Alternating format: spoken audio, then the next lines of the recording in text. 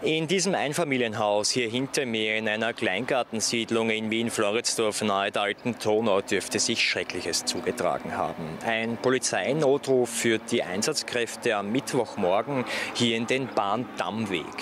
Und äh, nachdem die Polizisten um 9.40 Uhr morgens das Haus betreten, stoßen sie auf einen leblosen Körper einer 91-jährigen weiblichen Person. Alarmiert wurde die Polizei durch Angehörige der Pensionistin. Sie haben sie besuchen wollen und dann den schrecklichen Fund gemacht. Nun wäre der Tod einer Person im stark fortgeschrittenen Alter prinzipiell noch nichts Alarmierendes, sondern im Gegenteil etwas Alltägliches für Behörden. Doch in dieser Situation liegen die Dinge ganz anders. Denn die Verletzungen, die vor allem am Kopf der Toten gefunden werden, sind mutmaßlich durch Gewalteinwirkung entstanden. Ersten Informationen zufolge soll es sich um stumpfe Gewalteinwirkung handeln. Eine Möglichkeit wäre also, dass die arme Frau erschlagen wurde. Auch die Auffindungssituation generell sei verdächtig und lasse auf ein Verbrechen schließen. Der Anfangsverdacht war also gegeben und so startete das Landeskriminalamt Wien umfangreiche Ermittlungen, ganz konkret wegen Raubmordes. Die Tatortarbeit konnte dann in weiterer Folge mehrere Einbruchsspuren an den Fenstern des Hauses feststellen. Derzeit wird noch in alle denkmöglichen Richtungen gegen Unbekannte ermittelt. Die Seniorin lebte jedenfalls alleine hier. Man untersuchte auch, welche Gegenstände vom Opfer fehlen. Und auch Zeugen werden derzeit noch intensiv gesucht. Der nächste Schritt ist nun aber die gerichtsmedizinische Obduktion des Opfers, um die exakte Todesursache festzustellen. Dies soll noch am Mittwochabend erfolgen. Sie haben die Verstorbene gekannt. Erzählen Sie ein bisschen was bitte. Ich habe kennt von Kind auf. Also. Und sie war ganz eine flotte, nette Dame. Also da gibt es gar nichts. Und sie war rüstig und sie war lustig.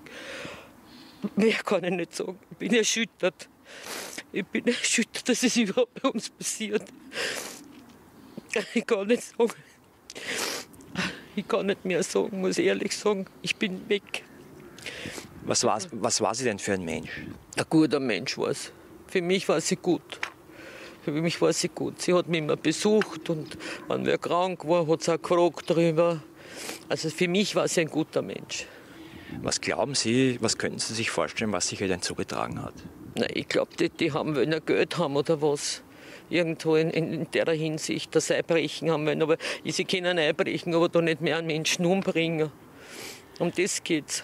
Also, also, Sie glauben tatsächlich, dass das Raubmord sein könnte? Ganz sicher, ah, ganz sicher. Die meisten Verbrechen gestehen allerdings äh, durch Angehörige, durch, durch Bekannte. Das glauben Sie, Nein. das können Sie ausschließen? Das kann ich ausschließen. Also ich kenne Ihre Familie, ich kenne die Burm, ich kenne jeden, also das kann ich total ausschließen. Das ist richtiger Raubmord gewesen.